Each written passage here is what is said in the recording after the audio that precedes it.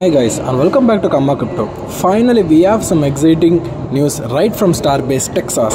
So Elon Musk has just recently po- posted that exciting progress is being taking place at Starbase Texas. Do you guys know what it means?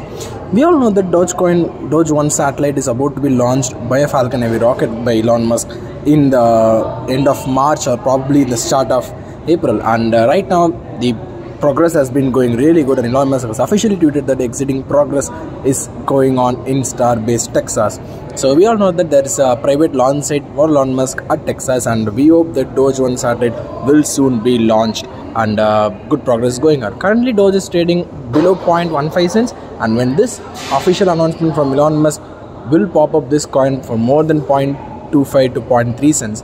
Um, there will be a lot more of a hike for this announcement but sure are this, there's going to be a big spike once Elon Musk officially announces that Doge 1 satellite is officially ready to launch. So until then, stay tuned to Karma Crypto.